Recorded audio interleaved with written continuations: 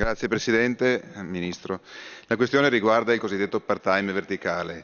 e cioè quella fattispecie di lavoro eh, parziale che viene svolta per eh, motivi organizzativi non eh, in modo omogeneo spalmato sui singoli giorni della settimana, ma concentrato su alcuni giorni. Ebbene, coloro che, appunto, ripeto, per, non per un proprio capriccio, ma per motivi organizzativi e quindi si presuppone per eh, aumentare l'utilità del lavoro svolto, della prestazione lavorativa svolta, e costoro, si, quelli che scelgono appunto il, il part-time verticale, si trovano una decurtazione nel calcolo degli anni eh, contributivi ai fini pensionistici che invece chi eh, usufruisce del, dell'altra fattispecie, quella orizzontale, eh, non, non eh, subisce. E quindi la, la, la, domanda è appunto eh, cosa si aspetta a sistemare questa, questa, questione, visto che anche la Corte eh, di Giustizia europea si è espressa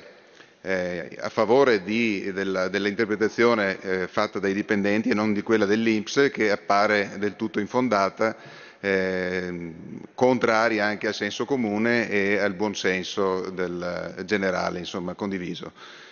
Grazie. Grazie Deputato. Ministro Poletti, prego. Grazie onorevole Busin. Eh, con il, questo atto gli onorevoli interroganti richiamano l'attenzione del Governo sugli effetti discriminatori che sussisterebbero nel calcolo dell'anzianità contributiva utile per l'accesso al pensionamento tra i lavoratori assunti col contratto di part-time orizzontale e quello di part-time verticale.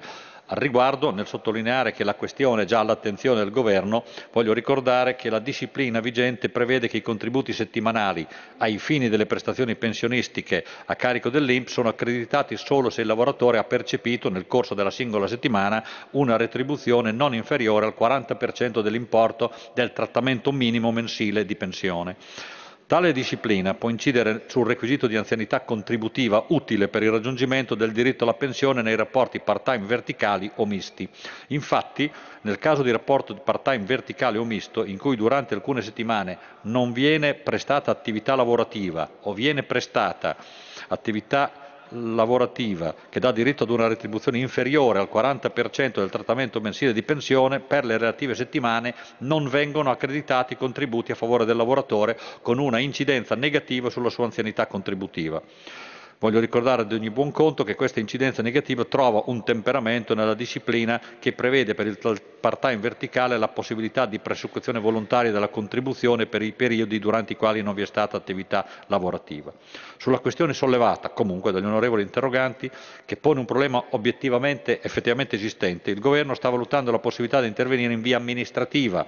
anche tenendo conto delle indicazioni e degli esiti del diffuso contenzioso, così da superare qualunque discriminazione tra lavoratori part-time. Considerata la rilevanza degli interessi in campo, il Governo, qualora l'intervento in via amministrativa non risultasse praticabile, valuterà senz'altro le modalità di un apposito intervento normativo.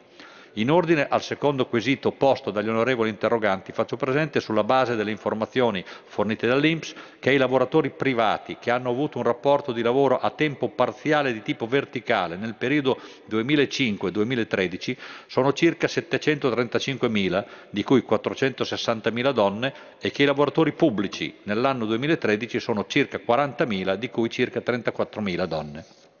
Grazie Ministro. Deputato Busin, prego, facoltà di replicare. Sì, io mi auguro che eh, questa soluzione, che sia di tipo amministrativo o altro, sia quanto mai eh, veloce e, e, certa nei tempi, che non si rimandi una questione così eh, dal punto di vista appunto, della soluzione che si può trovare eh, semplice a mio parere. Eh, quando la, la, vorrei richiamare anche la, il modo in cui si è espressa la Corte di Giustizia europea, no? che mh, dice che l'interpretazione data dall'Inps a, questa, a, questi, a, questo tipo di lavoro part-time verticale eh, è in violazione della, della, stessa, della clausola numero 4 della direttiva europea che disciplina gli accordi quadro sul lavoro parziale. Ecco, una volta tanto che eh, l'Europa sembra eh, almeno alcuni organi di, della comunità europea sembrano eh, esprimersi in un senso che è eh, coerente con il comune sentire, con la logica eh, e con il buonsenso diciamo, condiviso, eh, almeno, almeno, in queste occasioni cerchiamo di rendere conseguente anche il comportamento del governo e dare a questa istituzione una, una, un, senso, un senso anche alla nostra appartenenza a questa istituzione che spesso viene vista come lontana e malata di burocrazia. Eh, ribadisco anche il concetto che la scelta del part-time di tipo verticale è una scelta di tipo organizzativo, quindi niente eh, viene tolto alla produttività e all'utilità della prestazione lavorativa da parte appunto del dipendente che sceglie appunto che eh, insieme al datore di lavoro che sia pubblico o privato sceglie questa particolare fattispecie e che eh, al contrario se eh, per evitare diciamo, questo tipo di, pe di, penalizzazione fosse distribuita in modo orizzontale su tutti i giorni della settimana probabilmente avrebbe, eh, anche un, provocherebbe anche dei danni dal punto di vista della produttività e della rendita dal punto di vista organizzativo. Insomma non mi sembra ci siano eh, questioni che eh, siano contrarie né dal punto di vista legislativo né della comunità europea né eh, della, eh, del buonsenso e della, dell'organizzazione del lavoro dal punto di vista aziendale che eh, ostacolino una presa di posizione eh, decisa da parte del governo.